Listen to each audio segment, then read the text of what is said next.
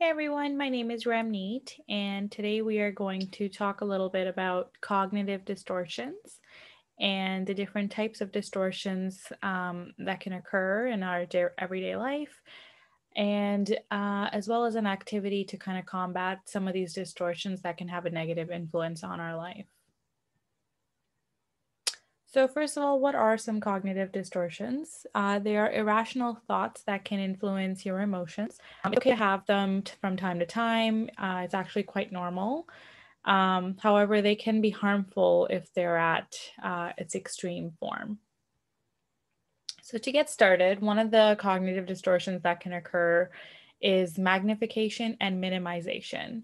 Um, so, that could mean exaggerating or minimizing the importance of something or an event or believing your achievements are just not as important or that the mistake you made is excessively huge. Um, catastrophizing is a type of magnification.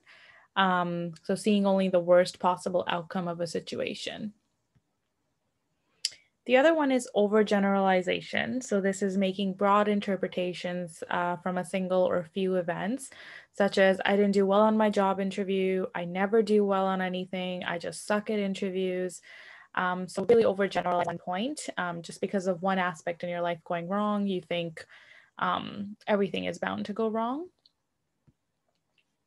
Magical thinking is the belief that acts will influence unrelated situations. So I'm a good person, bad things just shouldn't happen to me, is one type of magical thinking uh, distortion.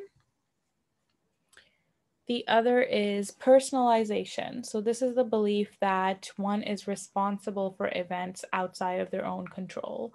Um, you know, my mom is always upset. She would be fine if I did more to help her. So, just thinking that you have more control out of things outside um, outside of your control.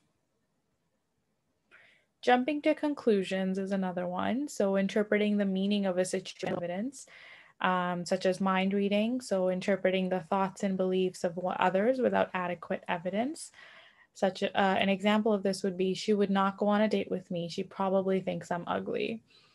The other type is fortune telling, so the expectation that a situation will turn out so badly without adequate evidence. Um, so just assuming that you know something is going to happen.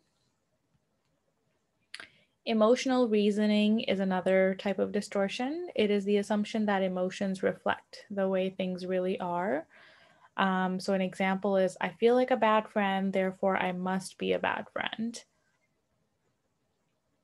Disqualifying the positive, so recognizing that only the negative aspects of a situation while ignoring the positive. So, one might receive many compliments on an evaluation um, but the you focus on the single piece of negative feedback. Um, so really just thinking the positive doesn't even occur. Isn't even occurring sorry.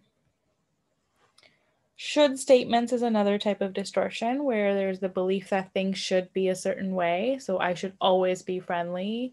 I should always get my way all or nothing thinking is thinking in absolutes, such as always, never. So I never do a good enough job on anything. Sometimes these statements we use on a casual basis, like I'm never going to get it right. Um, but that's a type of distortion that you have that's influencing the the your impact the impact of your work and the consequences of that work. So um, there's things you can do to kind of change that all or nothing thinking. So moving on to the things that you can do is the activity. Um, so for this activity, I'd like you to take a piece of paper and pen and list three types of cognitive distortions that you may engage in um, based on the type of distortions that I just mentioned. And I'd like you to write a sentence that you may have used in the past or uh, use regularly.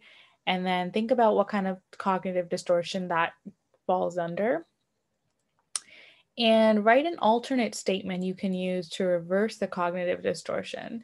This is going to help you to kind of get away from that negative thinking into more uh, realistic or positive thinking. So, for example, she probably thinks I'm ugly um, can be changed to she might think I look pretty good today. So, just changing the way you answer your own thoughts can have an impact um, long term. Thank you for listening today, and I will be back with another Skill Hub activity next week.